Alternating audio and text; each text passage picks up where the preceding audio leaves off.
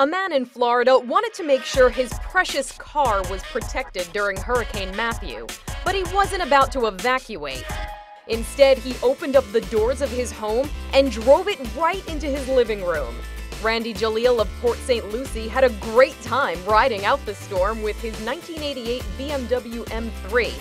He was so happy it fit through his doorway that he spent quality time with his Beamer and even had breakfast with her while the storm passed. Jalil said he wouldn't hesitate to do it again if his dad is willing to help guide him in and out of the house again.